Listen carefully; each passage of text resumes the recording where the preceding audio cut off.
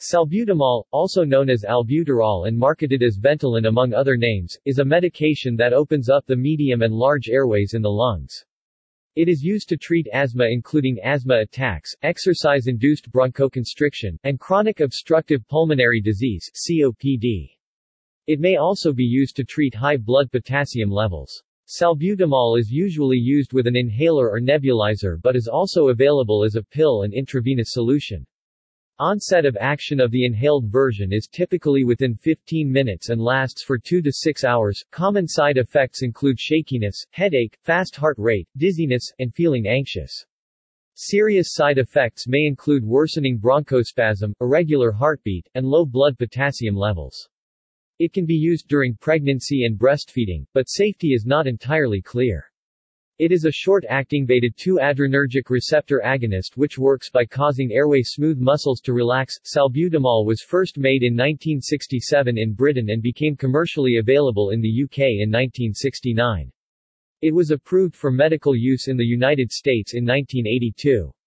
It is on the World Health Organization's list of essential medicines, the most effective and safe medicines needed in a health system. Salbutamol is available as a generic medication. The wholesale cost in the developing world of an inhaler which contains 200 doses is between $1.12 and $2.64 as of 2014. In the United States, it is between $25 and $50 for a typical month. S supply Medical uses Salbutamol is typically used to treat bronchospasm due to any cause, allergic asthma or exercise-induced, as well as chronic obstructive pulmonary disease. It is also one of the most common medicines used in rescue inhalers, short-term bronchodilators to alleviate asthma attacks. As a beta-2 agonist, salbutamol also has use in obstetrics. Intravenous salbutamol can be used as a tocolytic to relax the uterine smooth muscle to delay premature labor. While preferred over agents such as atosiban and ritodrine, its role has largely been replaced by the calcium channel blocker nifedipine, which is more effective, better tolerated, and administered orally. Salbutamol has been used to treat acute hyperkalemia, as it stimulates potassium flow into cells, thus lowering the potassium in the blood. Adverse effects the most common side effects are fine tremor, anxiety, headache, muscle cramps, dry mouth, and palpitation. Other symptoms may include tachycardia, arrhythmia, flushing of the skin, myocardial ischemia rare, and disturbances of sleep and behavior. Rarely occurring, but of importance, are allergic reactions of paradoxical bronchospasms, urticaria, hives, angioedema, hypotension, and collapse. High doses or prolonged use may cause hypokalemia, which is of concern especially in patients with renal failure and those on certain diuretics and xanthine derivatives. Pharmacology The tertiary butyl group in salbutamol makes it more selective for beta-2 receptors, which are the predominant receptors on the bronchial smooth muscles. Activation of these receptors causes adenylyl cyclase to convert ATP to CAMP, beginning the signaling cascade that ends with the inhibition of myosin phosphorylation and lowering the intracellular concentration of calcium ions. Myosin phosphorylation and calcium ions are necessary for muscle contractions. The increase in CAMP also inhibits inflammatory cells in the airway, such as basophils, eosinophils, and most especially mast cells, from releasing inflammatory mediators and cytokines. Salbutamol and other beta-2 receptor agonists also increase the conductance of channels sensitive to calcium and potassium ions, leading to hyperpolarization and relaxation of bronchial smooth muscles. Salbutamol is either filtered out by the kidneys directly or is first metabolized into 4-O-sulfate, which is excreted in the urine. Chemistry structure and activity Salbutamol is sold as a racemic mixture.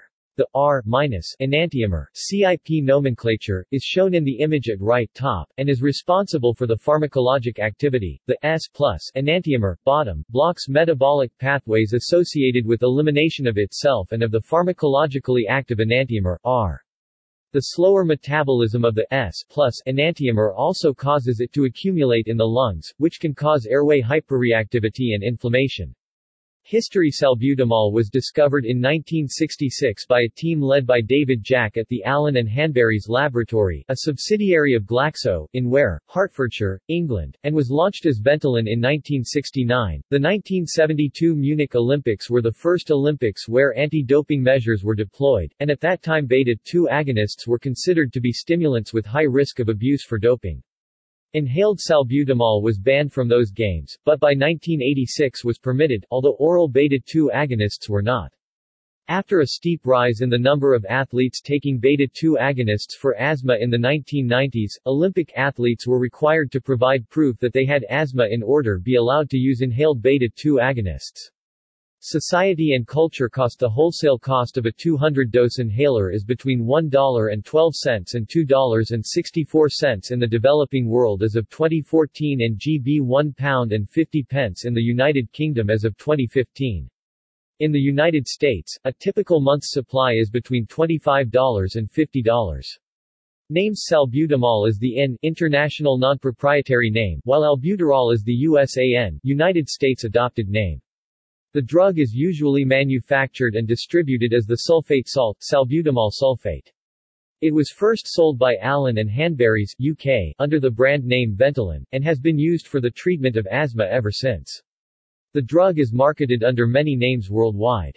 Doping As of 2011 there was no evidence that an increase in physical performance occurs after inhaling salbutamol, but various reports for benefit when delivered orally or intravenously. In spite of this, salbutamol required a declaration of use in accordance with the International Standard for Therapeutic Use Exemptions under the 2010 WADA prohibited list.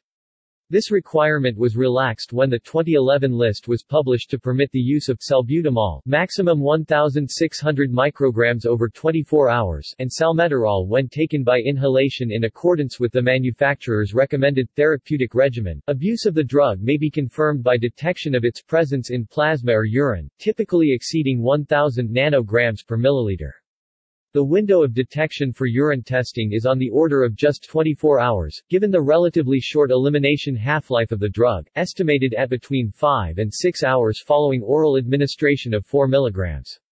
Research salbutamol has been studied in subtypes of congenital myasthenic syndrome associated with mutations in DOK7. It has also been tested in a trial aimed at treatment of spinal muscular atrophy. It is speculated to modulate the alternative splicing of the SMN2 gene, increasing the amount of the SMN protein whose deficiency is regarded as a cause of the disease. Veterinary use Salbutamol's low toxicity makes it safe for other animals and thus is the medication of choice for treating acute airway obstruction in most species.